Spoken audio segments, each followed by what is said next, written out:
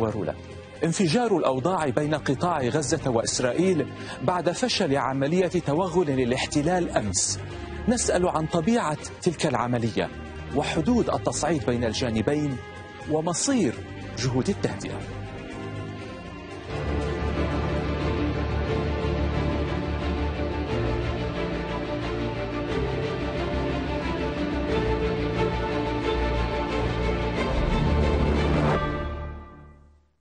أهلا بكم مشاهدينا إلى برنامج الخبر بقية. تهدد المواجهات التي اندلعت الليلة الماضية في قطاع غزة بعد عملية للقوات الخاصة لجيش الاحتلال بتقويض الجهود التي تبذل لإرساء هدنة بين الاحتلال والقطاع ذلك بعد أشهر من التصعيد. المواجهات أسفرت عن استشهاد سبعة فلسطينيين ومصرع ضابط في القوات الخاصة الإسرائيلية. وعقبها قبل قليل إطلاق حركة حماس عشرات الصواريخ ثم قصف إسرائيلي أدى إلى سقوط عدد من الفلسطينيين. هذه الأوضاع تهدد بتأجيج التوتر بعد تفاهم كان يفترض أن يعيد الهدوء إلى القطاع المحاصر. الغرفة المشتركة لفصائل المقاومة الفلسطينية أكدت أن العدو يتحمل المسؤولية الكاملة عما وصفته بالعدوان الغادر وما يترتب عليه. هنا مسرح العملية الأمنية بعد انقشاع الظلام. آثار القصف الإسرائيلي وبقايا مركبة يعتقد أنها تلك التي تسللت بها قوة إسرائيلية في جنح الظلام بعمق ثلاثة كيلومترات في قطاع غزة. وتصدى لها عناصر كتائب القسام. الكتائب أفادت أن عناصرها أفشلت عملية كبيرة كانت تهدف لخلط الأوراق. وأن سبعة مقاومين من بينهم قائد ميداني استشهدوا على إثر الاشتباك مع القوة الإسرائيلية وما تبعه من قصف من طائرات الاحتلال. لا شك أن يقظة المقاومة هذه الليلة قد أحبطت أجزاء كبيرة من المخطط الصهيوني لكن على الاحتلال أن يكون واعي تماما أن المقاومة لن تفرط. لا في دماء شبابها ولا في رجالها وأن المساس بأمن الشعب الفلسطيني سيكون ثمنه قاسي. فصائل المقاومة حملت الاحتلال المسؤولية عن الحادثة وخرق الهدوء وأعلنت أن دماء الشهداء لن تذهب هدرا. ما حدث الليلة الماضية يؤكد أن المقاومة حاضرة وعلى أتم جهوزية للرد على أي عدوان سوري ضد أبناء شعبنا. لذا نحن نؤكد بأن هذه الدماء الطاهرة لن تذهب هدرا وأن رد المقاومة قادم. هذه المقاومة التي استطاعت أن تفرض مقاومة معادلة على الأرض معادلة توازن الرعب والردع مع العدو الصهيوني. العدو الصهيوني يعلم تماما أن رد المقاومة سيكون في اللحظة المناسبة وفي المكان المناسب.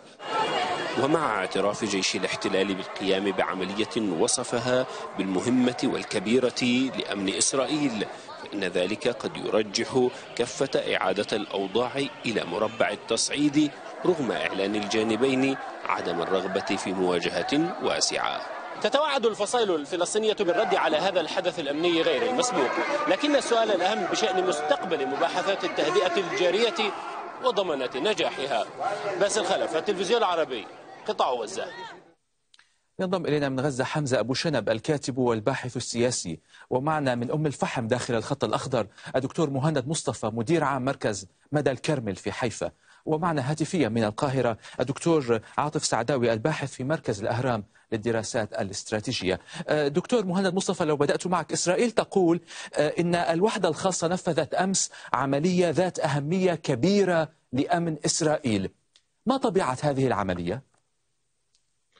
نعم. حتى هذه اللحظة هنالك تعتيم إسرائيلي على هذه العملية. الناطق بلسان الجيش الإسرائيلي لم يعلن ما هي هذه العملية ما هي هدفها ما هو الدافع للتوغل في قطاع غزة. وحتى هذه اللحظة إسرائيل حتى نفت أن هدف العملية هو اغتيال قيادي في في حركة حماس. لذلك حتى هذه اللحظة إسرائيل تعتم على هذه العملية وأنا أعتقد أنه ممكن في الأيام القادمة بسبب الضغط الجماهيري وبسبب أن هنالك ضابط كبير في الوحدات الخاصة قتل في هذه العملية قد يتم الكشف عن وبسبب عن فشلها. أيضا نعم وبسبب فشلها قد يتم الكشف عن تفاصيلها وحتى هذه اللحظة حتى إسرائيل لم تعلن عن اسم الضابط الذي الذي تم قتله في في قطاع غزة ولذلك هذه العملية ما زال يعني يغطيها التعتيم والصمت والسكوت من من الجانب الإسرائيلي. نعم، سيد حمزة أبو شنب في المقابل أيضا حركة حماس قالت بيان للقسام إن العملية كانت مخطط عدواني كبير استهدف خلط الأوراق، ما المقصود بهذا الكلام برأيك؟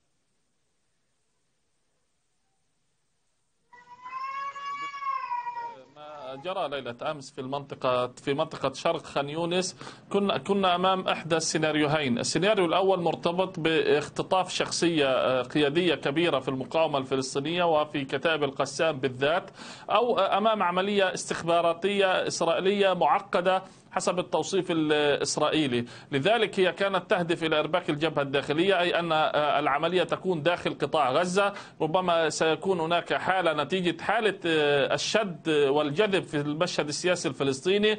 نرجع إلى تصعيد فلسطيني داخلي وليس إلى جعل إسرائيل. إسرائيل كانت تريد تنفيذ عملية آه، صامتة كما جرت بعض العمليات إلا أن يقظة المقاومة أفشلت هذه العملية. الأمر الثاني ما استطاعت المقاومة وحسب ما لدي من معطيات ومعلومات من مصادر مقربة من المقاومة ما استطاعت المقاومة الحصول عليه نتيجة فشل العدو الإسرائيلي في العملية من مستمسكات ميدانية وأدلة وأجهزة. بناء عليه كانت حديث المقاومة أن العملية كبيرة وكبيرة جدا لأنه أصبح لديه أدلة ملموسة نعم. بين يديه على حجم وطبيعة ألا يفترض بفصائل المقاومة لو سمحت لي ألا يفترض أن تعلن عن الهدف الإسرائيلي لأن إسرائيل إذا فشلت هذه المرة قد تكرر المحاولة.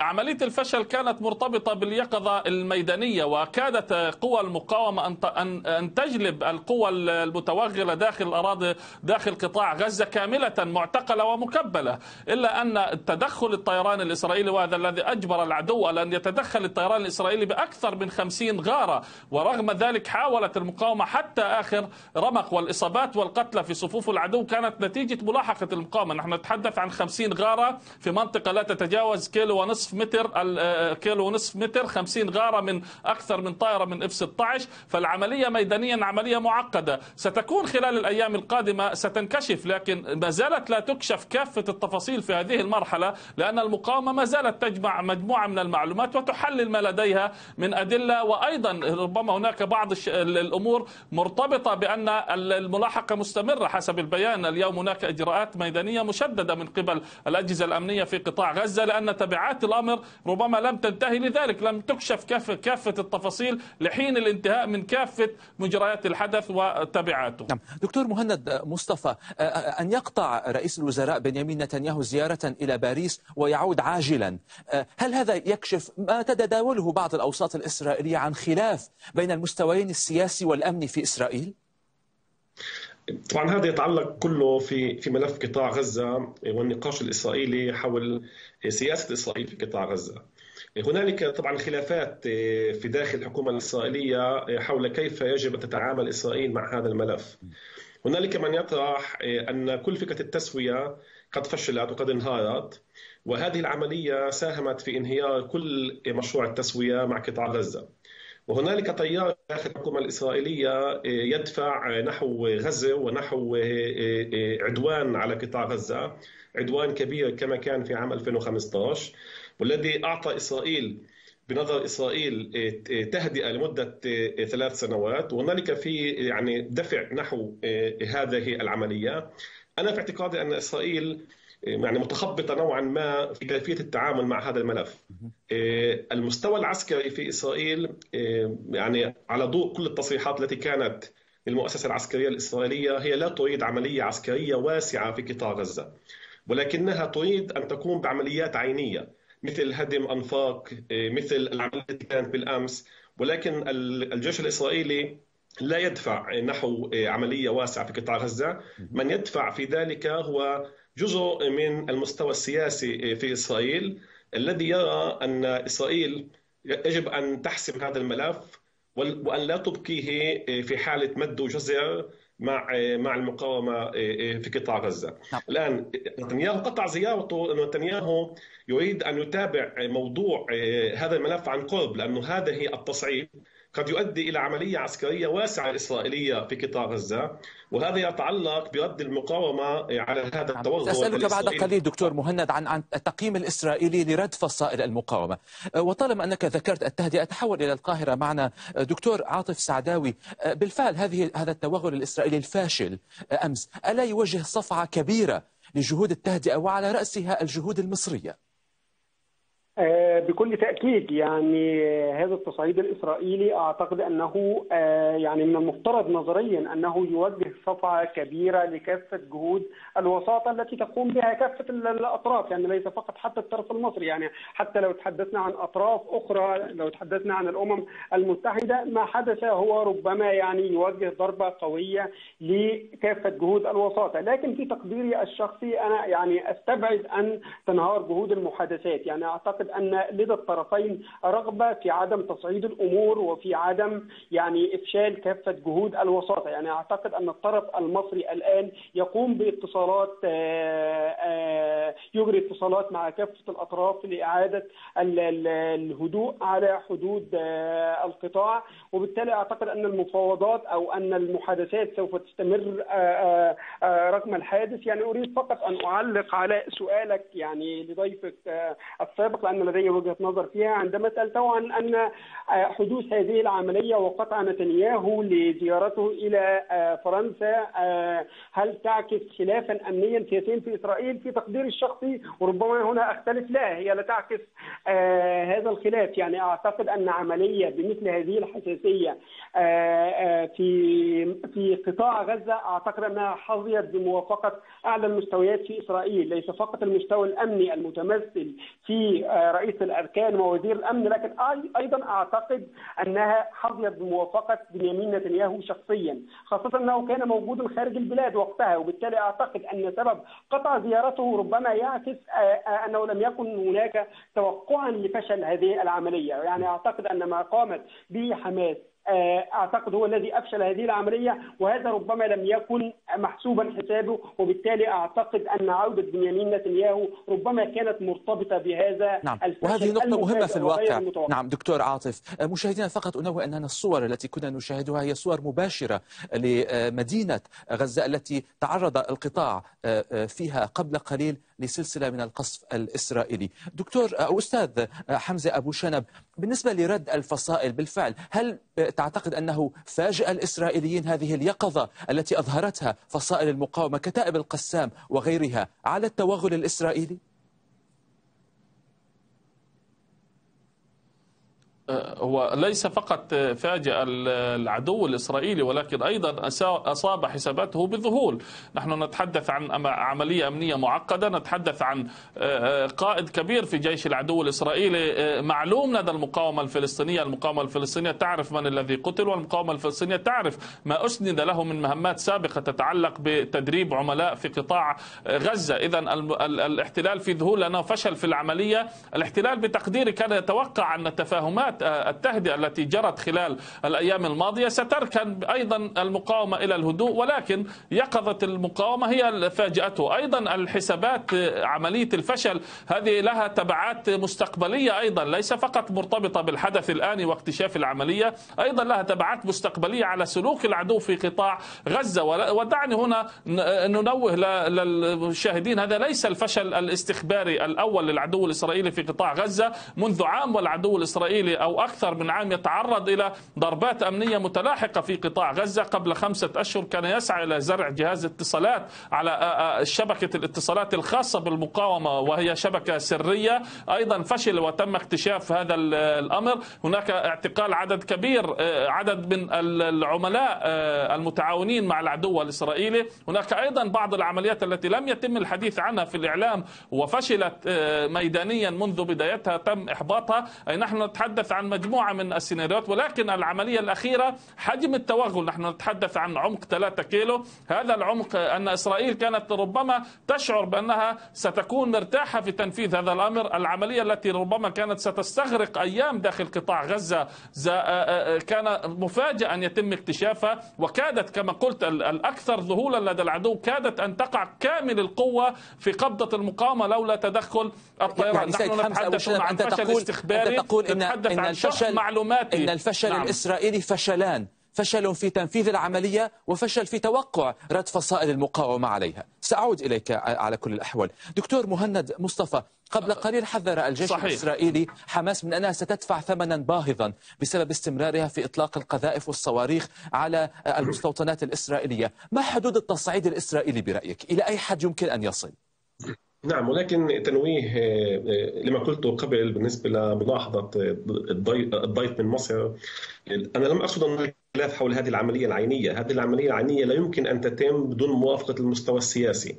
الخلاف في إسرائيل هو حول عملية شاملة في قطاع غزة، هذا هو الخلاف في داخل إسرائيل، ليس حول عمليات عينية هنا وهناك. وهذا يعني يتصل مع سؤالك الحالي.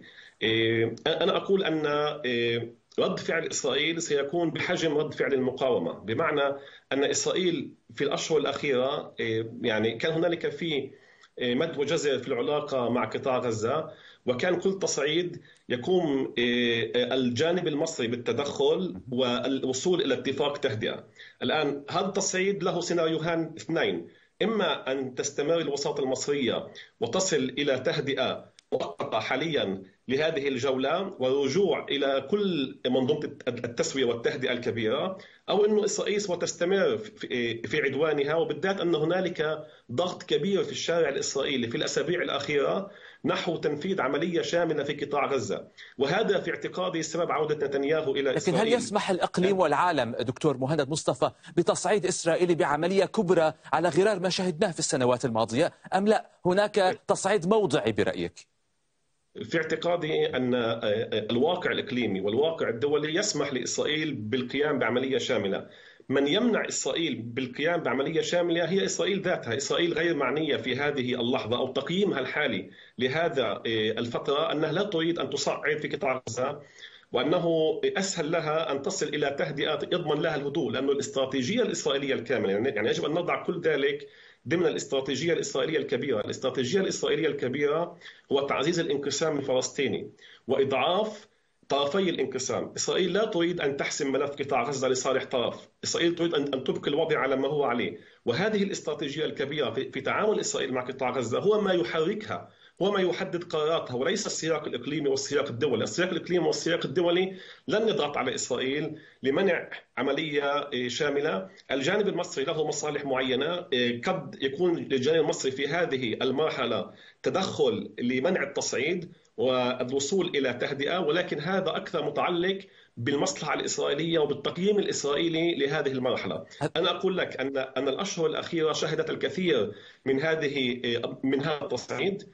طبعا هذا التصعيد الآن ممكن هو يعني الأكبر آه، منذ عام 2015 ولذلك نتنياهو قطع زيارته لأن هنالك في تيارين مختلفين في داخل إسرائيل حول التعامل. هناك من يريد عملية شاملة وهناك من يريد نعم. تصعيد وهناك أيضا عيني. انتخابات مقبلة تقترب دكتور آه، آه، مهند مصطفى وهذا عامل مهم أيضا كما تعرف دكتور عاطف سعداوي في القاهرة هل ترى مصر برأيك خطرا من تصعيد اسرائيلي شامل مثلا أم لا في النهاية الحدود مضبوطة جدا والقاهرة ستتدخل في الوقت المناسب لوضع حد لذلك آه، بكل تأكيد. ويعني هنا دعني آه، أرد على ما قاله ضيفك الدكتور مهند من أن الجهود المصرية ربما مرتبطة بمصلحة إسرائيلية. أنا أقول لك أن الجهود المصرية مرتبطة بمصلحة مصرية. يعني في في المقام الأول هي مصلحة مصرية بالأساس. يعني مصر تنظر إلى المسألة الفلسطينية على أنها مسألة أمن قومي مصري أمن أمن وطني مصري. وبالتالي هنا مصر تسعى في المقام الأول إلى الحفاظ على مصالحها. يعني إذا مصر لن تسمح لن تسمح بعملية كبرى مثلا؟ بكل تأكيد بكل تأكيد أعتقد أن هذا يعني من ضمن أولويات المسألة المصرية أو من أولويات الأمن القومي المصري ألا يحدث هناك تصعيد كبير في قطاع غزة لأنه أنت تعلم أن الجيش المصري يخوض معركة كبيرة في سيناء وعلى وشك إعلان سيناء منطقة خالية من الإرهاب وبالتالي أعتقد أن أي توتر أو أي تصعيد في قطاع غزة أعتقد أنه ينعكس بشكل مباشر على الأوضاع في مصر وفي شبه جزيرة سيناء تحديدا وبالتالي وبالتالي هنا أنا نتحدث عن مصلحة مصرية بالأساس. النقطة وهو ما يدعم هذا الاتجاه أن مصر دائما هي التي تقود جهود التهدئة في قطاع غزة. يعني أعتقد أن هناك كنا على وشك إعلان نجاح هذه الجهود لولا العملية الإسرائيلية الأخيرة. أعتقد أنه كانت هناك زيارات كثيرة. أعتقد أن هناك كانت جهود أيضا مصرية ليس فقط للتهدئة في قطاع غزة ولكن أيضا في إبرام مصالحة وطنية فلسطينية بين فتح وحماس. فأعتقد أن كل ذلك ينطلق من منطلقات قومية أو أمنية مصرية بالأساس. وبالتالي هنا مصر تسعى إلى حماية حدودها تسعى إلى حماية أمنها القومي ولا تسعى فقط إلى خدمة إسرائيل كما قال ضيفي نعم. يعني هو لم يقل بالضبط تسعى إلى خدمة إسرائيل. سيد حمزة أبو شنب في غزة هذه العملية تجري. هذا القصف. سقوط الشهداء. يجري وسط انقسام فلسطيني مرير متواصل. وبعد تهديدات أيضا أطلقها الرئيس عباس باتخاذ إجراءات ضد غزة وحركة حماس. أين تضع هذه العملية موضوع المصالحة الفلسطينية؟